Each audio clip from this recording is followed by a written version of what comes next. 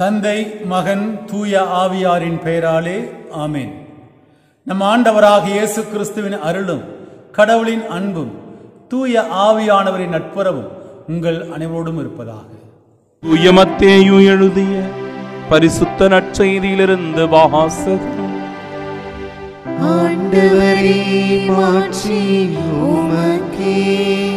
அதிகாரம் ஐந்து இறை வார்த்தைகள் நாற்பத்து மூன்று முதல் நாற்பத்தி எட்டு முடிய. அக்காலத்தில் இயேசு தம் சீடரை நோக்கி கூறியது உனக்கு அடுத்திருப்பவரிடம் அன்பு கூறுவாயாக பகைவரிடம் வெறுப்பு கொள்வாயாக என கூறியிருப்பதை கேட்டிருக்கிறீர்கள். ஆனால் நான் உங்களுக்கு சொல்லுகிறேன் உங்கள் பகைவரிடமும் அன்பு கூறுங்கள். உங்களை துன்புறுத்துவோருக்காக இறைவனிடம் வேண்டுங்கள். இப்படி செய்வதால் நீங்கள் உங்கள் விண்ணகத் தந்தையின் மக்கள் ஆவீர்கள். ஏனெனில் அவர் நல்லோர் மேலும் தீயோர் மேலும் தம் கதிரவனை உதித்தழச் செய்கிறார். நேர்மையுள்ளோர் மேலும் நேர்மையற்றோர் மேலும் மழை பெய்யச் செய்கிறார். உங்களிடத்தில் அன்பு செலுத்துவோரிடமே நீங்கள் அன்பு செலுத்துவீர்களானால் உங்களுக்கு என்ன கைமாறு கிடைக்கும்? வரி தண்டுவோரும் இவ்வாறு செய்வதில்லையா? நீங்கள் உங்கள் சகோதர சகோதரிகளுக்கு மட்டும் வாழ்த்து கூறுவீர்களானால் நீங்கள் மற்றவருக்கும் மேலாக செய்து விடுவதென்ன பிற இனத்தவரும் இவ்வாறு செய்வதில்லையா? ஆதலால் உங்கள் விண்ணகத் தந்தை நிறைவுள்ளவராய் இருப்பது போல நீங்களும் நிறைவுள்ளவர்களாய் இருங்கள்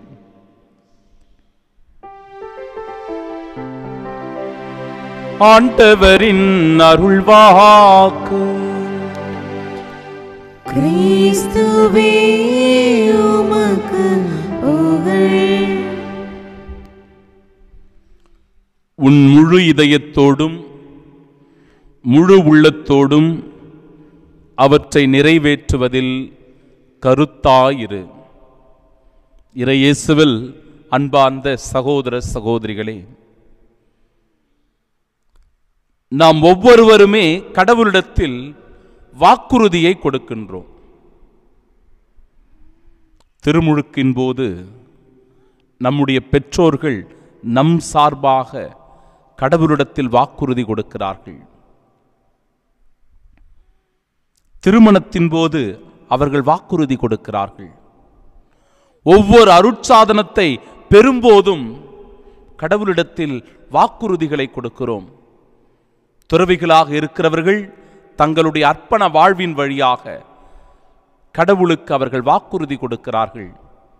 கீழ்ப்படிதல் உள்ளவர்களாக கற்பினை காப்பாற்றுபவர்களாக எளிமையோடு வாழ்வதாக இப்படி நாம் எல்லோருமே ஒரு விதத்தில் கடவுளுக்கு வாக்குறுதி கொடுக்கின்றோம்.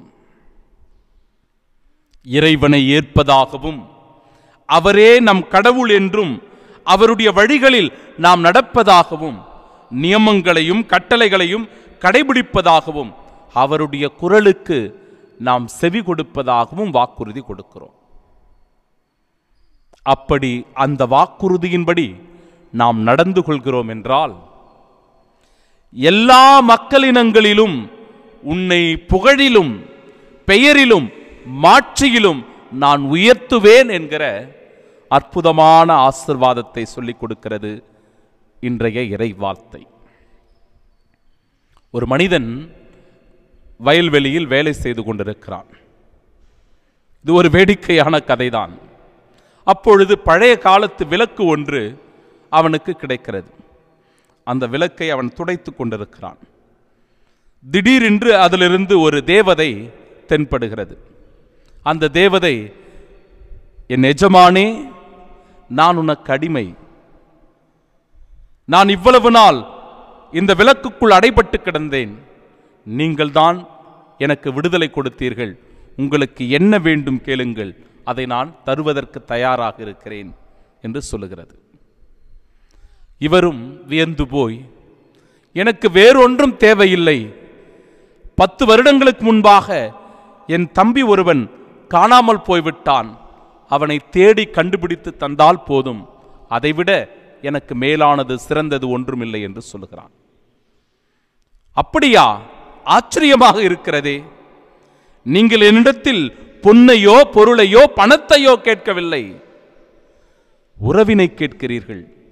உங்கள் தம்பியின் மீது வைத்திருந்த அந்த அன்பின் அடிப்படையில் உங்கள் தம்பியை கேட்கிறீர்கள். மிகவும் ஆச்சரியமாக இருக்கிறது வியப்பாக இருக்கிறது என்று அந்த தேவதை சொன்னதாம். அப்படியெல்லாம் ஒன்றும் பெருசாக இல்லை. என் தம்பி இங்கே இருக்கும்போது ஒரு இருபது லட்ச ரூபாய் கடன் வாங்கிட்டான் எல்லாருக்கிட்டேயும் அவன் சொல்லாமல் கொள்ளாமல் ஊரை விட்டே ஓடி போயிட்டான். எங்கே போனானே தெரியல. இவங்க கடைக்காரனுங்க எல்லாரும் இன்னைக்கு கடன் கொடுத்தவங்க எல்லாரும் இன்னைக்கு என்னை சூழ்ந்து வந்து நச்சரிக்கிறாங்க. உன் தம்பி தானே நீ தான் அதை எல்லாத்தையும் கட்டணும் அப்படின்னு. அதனால தான் கேட்குறேன் அப்படின்னு நானா. அன்பிற்குரியவர்களே ஒரு வேடிக்கையான கதைதான் கதைதான். ஆனால் பாருங்கள் இன்றைக்கு நுகர்வு கலாச்சாரத்திலே மனிதர்கள் உறவுகளுக்கு முக்கியத்துவம் கொடுப்பதை விட பொருளுக்கும் பணத்திற்கும் சொத்திற்கும் அதிகமான ஆசைப்பட்டு அதற்கு முக்கியத்துவம் கொடுப்பதை பார்க்கிறோம். இன்றைக்கு இது அதிகமாக பெருகிக் கொண்டிருக்கிறது. இது ஒரு மிக பெரும் ஆபத்து. இதை நாம் உணர்ந்து கொள்ள வேண்டும் அன்பிற்குரியவர்களே. உனக்கு அடுத்திருப்பவரிடம் நீ அன்பு கூறுவாயாக. உங்கள் பகைவரிடமும் நீங்கள் அன்பு கூறுங்கள். உங்களை துன்புறுத்துவோருக்காக இறைவனிடத்தில் செபியுங்கள் என்று இறைவார்த்தை சொல்லுகிறது. பிறரை அன்பு செய்ய பிறரை மன்னித்து ஏற்றுக்கொள்ள நல்ல உறவுகளுடன் வாழ நாம் தயாராக இருக்கிறோமா? அப்படி நாம் ஒரு நல்ல வாழ்க்கை வாழ்கிறோம் என்றால் கடவுளுக்குரிய ஒரு வாழ்க்கையை நாம் இந்த உலகத்திலே வாழ்கிறோம் என்றால் உங்கள் விண்ணகத் தந்தை நிறைவுள்ளவராயிருப்பது போல நீங்களும் நிறைவுள்ளவர்களாயிருங்கள். கடவுளினுடைய திருச்சட்டப்படி நடக்கிறவர்களே நீங்கள் பேறு பெற்றவர்கள். உங்கள் கடவுளாகிய ஆண்டவரின் தூய மக்களினமாய் நீங்கள் ஆசிர்வதிக்கப்பட்டிருப்பீர்கள் என்று இன்றைய இறை வார்த்தைகள் நமக்கு ஒரு ஆசிர்வாதமாய் அமைந்திருக்கிறது. இந்த அற்புதமான வார்த்தைகளை மனதில் நினைத்து பொண்ணுக்கோ பொருளுக்கோ பணத்திற்கோ அதிகமான முக்கியத்துவம் தருவதை விட நம் உடன் வாழுகிற பிற சகோதர சகோதரிகளை நேசித்து அன்பு செய்து வாழ்வோம். நம்முடைய வாழ்வின் அர்த்தம் நமக்கு புரியும். ஆமீன். இனிய உன்னாமம் ஓதிடல் தினமே அனைவரும் மகிழ்வோமே. இனிய உன்னாமம் ஓதிடல் தினமே அனைவரும் மகிழ்வோமே. தாயினும்